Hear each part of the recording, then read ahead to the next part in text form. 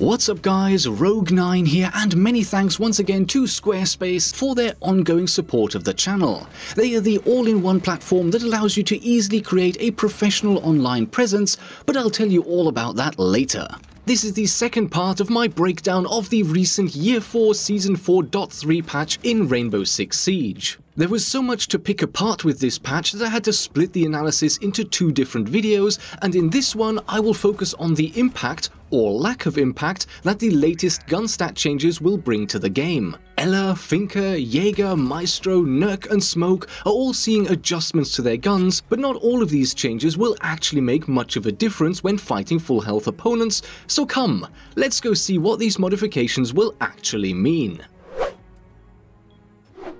Ela is kind of annoying to play and has been for ages because her Scorpion Evo 3A1 submachine gun is such a nightmare to handle. To give her a little bit of a buff and make her more fun to play, the recoil on the first 16 shots of any burst is being reduced by quite an amount. But after these first shots, the gun will still go crazy, so it's best to stick to controlled bursts with her even after the patch. This is a comparison of the recoil without any control, and the improvement actually looks pretty good. When I went to try out how controllable the gun will be, I ran two tests one using up the whole mag for each burst, and of course the second half of the mag kind of fudges the results a bit, so I repeated the test while only firing half of the mag each time. As you can see, things are definitely going to be improving, but all in all, compared to the other Defender guns, the Scorpion is still going to be quite challenging to handle, and unless you're very close to your opponents, successfully hitting all of your shots in a burst is still going to be challenging. So yeah,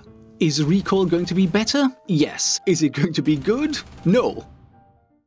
Finka may be a powerful attacker overall with generally high win rates, but her Spear 308 bullpup rifle is quite underwhelming. To address this, the devs have adjusted its damage per shot to 42-26 depending on range, up from 38 to 24, and of course the question then is, what practical impact will this have on the game? Well, at ranges up to 25 meters, the results are a little bit underwhelming. Against level 1 armor opponents, you will only save one shot to down or kill, and only if the enemy is wearing rook armor, and all of your shots hit just the arms or legs without over-penetrating into the body. Against level 2 armor, there is no improvement at all, and against level 3, it's again a saving of only one shot, and only for either straight up limb shots or if rook plates are involved. Because the fire rate stays the same, each of those savings of one hit will also result in a saving of 86 milliseconds or 0.08 seconds in time to down or kill. At long ranges, over 35 meters, you will see a more frequent reduction in required hits, although again level 2 armor opponents are going to be just as difficult to beat unless you're hitting only the limbs. Nevertheless, you're going to save a shot in most cases, and with that will of course also come the time saving of 86 milliseconds for every shot you save. But as always, it's worth keeping in mind that fights over 35 meters are most often decided by who gets the headshot rather than who can hit 6, 7 or even up to 10 shots. So again, I would say that the benefit will probably be limited. My conclusion here would be that at the most common combat distances in Siege, you're not actually going to feel much of a difference unless the opponent is already partially damaged to the point where the 4 extra damage per shot will actually do something. The Spear 308's fire rate is very similar to the top 5 hardest hitting assault rifles in Rainbow Six, but it's also still a good chunk weaker. The gun's damage output per second after the patch will be 490, up from 443, and while that's a nice little improvement, it's still far below the 537 DPS average for the rifle class. So even after the buff, this gun is going to be below average. Given how powerful Finka's gadget can be, that's probably a good thing. If the objective was to make Finka's gun just a little bit better in a small handful of specific circumstances while keeping it relatively weak overall, then this update will achieve that. If you were hoping to play Finka more because her gun could finally be fun now, move along, there's literally nothing to see here. Even after the introduction of Mai as a defender that finally mirrors Jaeger's abilities, it appears that the pick rate of good old Jaeger is still through the roof. I conducted an in-depth comparison of both operators in a recent video, link on screen now and coming up in the end card if you want to check that out, and I'm surprised that the pick rate of these guys hasn't naturally balanced out by itself yet, because while both have their strengths and weaknesses, I think that Wamai is a great alternative. But that's just my opinion. Obviously, there's still a problem with Jaeger's pick rate, and so to adjust that down a little, his 416C rifle is getting a bit of a damage nerf from 4321 down to 3818 so losing 4 points up close and 3 at range. What does this mean in practice? Well, at the most common combat ranges, almost nothing at all. Against full health opponents, you're only going to need one extra bullet against level 3 armor opponents, i.e. Gridlock, Rook, Fuse, or one variant of the recruits. That's it. At 740 RPM, that means that taking down any of these 3 and a quarter operators is going to take 81 milliseconds longer if you land body or limb shots. At the far less relevant long ranges of 35 meters or more, the change is more impactful because you'll need one extra bullet in most situations and even two against level 3 attackers if you hit them in the limbs. And of course, this once again translates into the appropriate time loss. Conclusion If you were worried about the impact that this nerf would have on one of your favorite operators, I would say you'll probably be okay. There are only three heavily armored attackers in the game, and against all other enemies you won't really feel a difference. Once again, the change looks really scary, but in practice, nothing much changes unless you're fighting at really long ranges. The one thing you might notice is that you will be downing one armor opponents more often than before, and that three armors will die instantly. But other than that, this nerf is actually very gentle. If you enjoy playing Jaeger, take a deep breath and relax. You'll be fine. But do maybe check out my Jaeger vs Wamai video and maybe consider switching things up a bit more. Wamai, in my opinion, is definitely an underrated alternative. And now let's take a quick breather from the stats and why don't I take that opportunity to tell you about the cool things that our sponsor Squarespace has to offer. When you create an online presence with Squarespace, it's not just about easily creating a website. Whatever your goals online are, they have the tools to let you achieve them. Are you an artist or content creator in the Rainbow Six scene and you want to build an online store where you can show off your past work and offer goods like branded merchandise or services such as commissions for things like thumbnails or Twitch emotes? Squarespace has you covered. Beyond that, you can use their built-in search engine optimization and social media tools to reach out and engage your audience, and then you can use the analytics to make sure you have a full picture of who is visiting your site and where they're coming from. Check out all of the features they provide with a free trial at squarespace.com. If you like what you see, make sure to go to squarespace.com slash rogue9, link in the description, to get a 10% discount on your first purchase of a website or domain.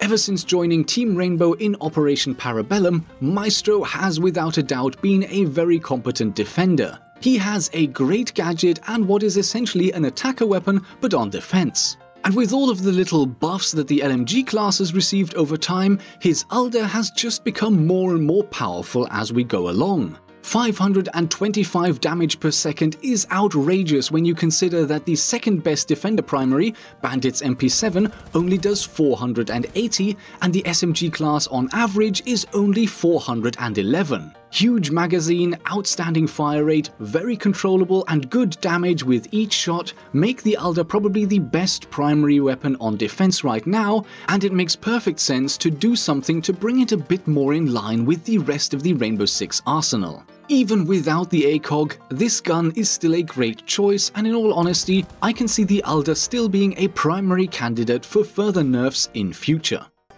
And finally, the patch notes tell us about one more gun buff, and that's Nøkk's FMG-9 submachine gun, and of course, that means that Smoke will also benefit. Damage is going to be 3420 instead of the current 3218, and in this case, we finally have a change that will have a definite impact in most situations.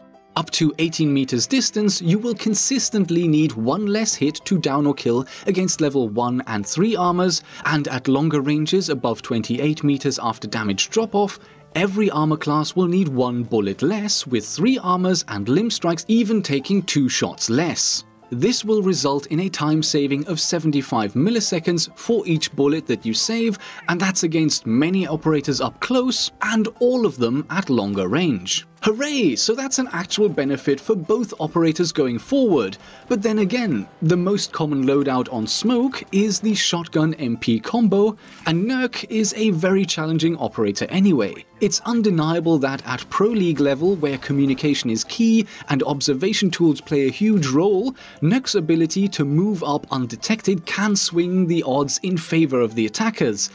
But if you're playing online anywhere up to plat level or if you're solo queuing, the advantage that Nøkk's gadget can bring has far less of a positive impact for your team. So the conundrum is, if you give her a gun that's powerful, she's going to be broken at the highest skill levels in the game, but with an okayish gun, she will never be very useful to the vast majority of the player base. I personally don't ever see this issue being resolved, so despite the nice little buff to her SMG, Nøkk will still be only marginally useful for almost everyone who plays Siege. Ying is getting a bit of a buff in many ways, with the hope of making her Candela flash grenades a bit more reliable to use. First off, the grenade will receive an outline that Ying can see through walls, and the intention here is to give the player a bit more of an understanding of how far the grenade has rolled into the room. So if it gets hung up on a piece of furniture or any other prop lying around on the floor, you will at least know before charging in and getting downed by a completely unstunned opponent. The next improvement is with the distribution and detonation time of the flash pellets within the grenade. Up until now, each grenade has always had 6 pellets, 5 that would be thrown out in a circle just above head height, and 1 that would go off on the floor right on the grenade itself. After the next patch update, it will then be 7 pellets. One goes off on the grenade itself, 3 go out at crouch level, and then 3 just above head height. The timer on each pellet will only be 0.3 seconds in future, up from currently 1 second when thrown, and 2.5 seconds when placed on a wall. Quicker detonation will give the defenders less chance to turn or run away, and therefore result in more reliable flashing. And finally, the last little change to the pellets might not seem like much, but I think this could actually be really important. The patch notes tell us that up until now, pellets that hit any kind of map prop just fall straight to the floor and detonate there, but in my testing I found many instances where pellets that didn't have a perfectly clear path could actually fail to go off altogether. See here examples of where only 5 pellets go off each time.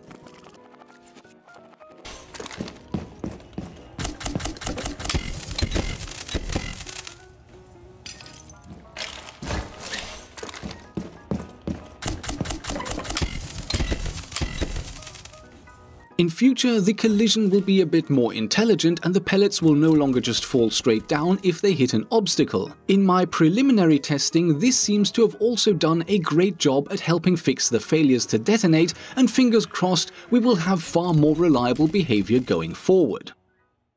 Before we wrap up, let me quickly take you through a couple of bug fixes that will also have some gameplay impact. As you will know, Mute's jammers have two different ranges when interacting with drones or some operators. Up to 6 meters away, you will experience minor interference, and once you get to 3 meters distance, your signal will be completely blocked. Everyone will have experienced this effect while droning, and a very similar effect is present when using Jackal's Eyenox visor. First interference, then total loss of vision. The problem in the game pre-patch is that Jackal is not able to scan footprints even when in only the 6 meter range, and that is unintended. Once the patch goes live, scanning can take place anywhere up to 3 meters away from a mute jammer.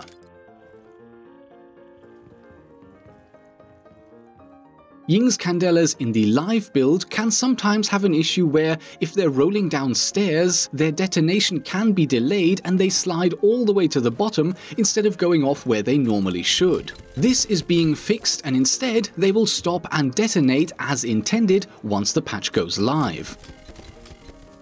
And finally, something that many players probably never noticed, but before the patch, the holographic sight when used on Glaz's DMR has a much larger and thicker reticle than it is supposed to, and that is getting fixed with the upcoming update as well. So great news for all 7 of the players who run the holo sight on Glaz. For the other 50 odd million of us who use normal sights on his gun, this change will have no real impact.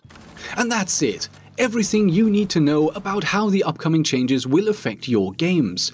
Do leave a like if you learned something useful, and why not swing by my relatively new Instagram account for more Rainbow Six content. Thanks everyone for watching, and with that, I hope you enjoyed the video and I will see you in the next episode.